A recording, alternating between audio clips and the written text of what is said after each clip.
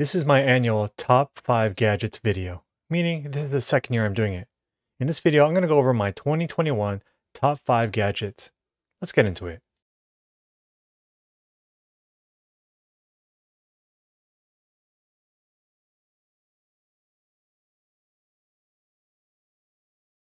Twenty twenty was the year of the pandemic, or the pandemic started then, and so it was a year of staying home. So a lot of my gadgets reflected that.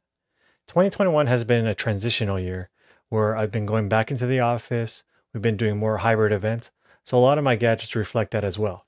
Hi, my name is Patrick, and this is Everyday Tech. Everyday Tech for everyday people. And in this video, we're going to go over the top five 2021 gadgets that I've either started using or acquired in this year. So let's get into the list now. So starting us out at number five is the Elgato Key Light. This is my main video light and that's you know, shining on me right now. It's a very soft light, a very powerful light. It's very well built. It's built like a tank. And also it comes with a tabletop stand. And so that means I don't have to use like a light stand like I did before. So before I had this video, Neewer video light and it was a very good light, but I had a soft box with it and I had to use it with a stand. It took a lot of real estate on my office space here. But with this tabletop, it, it really declutters the office space a little bit more. The other thing I like about it is you can control it with an app, uh, either on the phone or a desktop app as well. So I can really dial in the power, the color temperature. But my favorite thing and the best thing about this light is how quiet it is. Now, before with my Neewer light, it had a loud fan, but this is dead quiet. So this is not only one of the better upgrades for my lighting setup, but this is one of probably the best upgrade for my audio setup as well. So this is the Elgato key light. Now this is an expensive light, but I got it used for a pretty good price. There are other alternatives out there. Uh, they usually have a remote control or just a phone app, but I just like the fact of how flexible this light is as far as to control via software on my Mac or on my phone. And I can also control it via my Stream Deck as well because they're made by the same company. So this is the Elgato key light. Next, coming in at number four is what you're hearing me on now. This is the Rode PodMic dynamic microphone. Now this has been an awesome upgrade to my audio setup here. Now before I was using a free condenser microphone or a, a dynamic microphone that I got from other people, but I really wanted to upgrade my audio quality other than my Elgato key light there. So this is a high quality sounding microphone. I've gotten a lot of compliments on my live streams, on my recorded videos, and even on my Zoom calls. The other thing is it looks great too. It looks very professional. And I've also got a lot of comments, especially on Zoom, when I'm on a regular Zoom call as far as the quality is concerned. Now, the first thing you'll notice is when you open the box is how heavy this thing is. It's built like a tank. So I'm really happy for the build quality of this microphone. Now I've paired it with this Elgato low profile microphone arm and this has been an awesome combination as far as my desk setup here. I also have this wind guard here that I bought on Etsy here. So it's a 3D printed thing that goes right on the pod mic. So this is number four, the Rode PodMic dynamic microphone. Coming in at number three is the Keychron K7 low profile mechanical keyboard. Now last year I had the Keychron K2 keyboard on my list and that wasn't a low profile keyboard, but it was a mechanical keyboard, actually my first mechanical keyboard. And after using that keyboard, I was like, how come I haven't had a mechanical keyboard in a long time? Well, as a web developer and a programmer, having a nice keyboard is pretty key as far as productivity is concerned.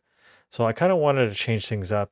And that's a nice thing about mechanical keyboards. You can not only customize the look, but you can also customize the actual feel and experience you have with using the keyboard as well. So I wanted to change things up and get a low profile one. Now before I had red linear switches, which is no click at all, no clicky feel. But these are the brown switches, which has a very slight clicky feel. So this has been perfect for me. And the low profile build really makes it look like a productivity type of keyboard. Now the uh, Keychron K K2 was a regular size one, so I felt like more of a gaming keyboard. This one feels very productivity type which is kind of like the style of my desk here. It goes very well. So I've been really enjoying using the K7 keyboard here. And also it being a Keychron mechanical keyboard, It's very Mac centric first. It can do both Mac and Windows. It can be both wireless and wired. So I love the flexibility of this keyboard. So at number three, this is the Keychron K7 low profile mechanical keyboard with brown switches. Now coming in at number two, we have the Atem Mini Pro by Blackmagic Design.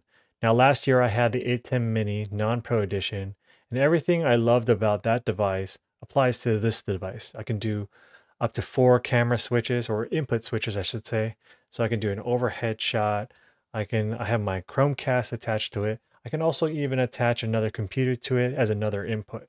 Now, two of the things that they added to this Pro model here is first, the ability to stream or record in the unit by itself without a computer. I just love how it can do all that work without straining or relying on a computer. So in my previous videos, two of my previous videos, I did all the recording connected with an SSD drive, connected to the Atem Mini Pro, and I did all the recording in the unit here. And I've done a few live streams just from the Atem Mini Pro. Now, my number one feature that I love about the Atem Mini Pro as opposed to the non-pro version is the ability to show the multi-view. And now I have this little monitor here that I can turn on to show all the camera inputs, the, all the HDMI inputs all at once. And it gives me the ability to preview what I'm about to switch to as well. So that's been a really awesome upgrade. This is number two, the Atem Mini Pro by Blackmagic Design. Before I mention my number one gadget of 2021, I wanted to give you some honorable mentions here. First, I have my M1 iPad Pro 11 inch. This has been the best iPad I've ever owned. It didn't make my top five because I haven't used it as much as I would have liked to. Uh, I've been mainly using my M1 Mac Mini and my number one 2021 gadget that I'm about to mention. The other honorable mention is my PTZ Optics 12x camera. Now, this is a very old camera, a very expensive camera, but I bought it at a really, really good price on eBay but it's been a really awesome camera to use for live events, hybrid events, uh, online events. So it's been it's given me some really good flexibility as far as uh, production is concerned. So these are two honorable mentions of 2021. Now we come to my number one gadget of 2021. Now last year my number one gadget was my M1 Mac Mini, and this year is just a continuation of that. My number one gadget this year is my M1 MacBook Air. Now I know it came out at the same time as the M1 Mac Mini, but I got it this year for work and I'm in the office three to four days a week and the rest of the time I'm working from home. So going back and forth, this has really met my computing needs. Now I mentioned in my M1 Mac Mini that I claim that the M1 Mac Mini is the best valued computer that you can get. Now I will, I will claim that the M1 MacBook Air is the best valued laptop you can get the, the performance you get for the price, you just can't beat it. We're talking about raw computing horsepower and battery life as well. Now, this has really met my need as far as computing is concerned. We're talking about 4K video editing, live streaming, uh, programming, everything I throw at it. It's been a workhorse. It's dead quiet, there's no fan in it. And even in my M1 Mac Mini, I rarely hear the fan. So I really think that unless you're really pushing it hard, uh, this is a better buy even over the M1 MacBook Pro. Now, if you really know that you need the computing power and the raw horsepower, especially when it comes to video editing and video rendering, then of course get the M1 Pro or the M1 Max, uh, MacBook Pros.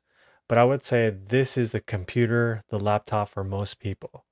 This is my number one gadget, the M1 MacBook Air. So those are my top five gadgets of 2021. Now I say every year, the next year I probably don't need to get as many gadgets because I pretty much have everything I need, but that never works out that way, does it?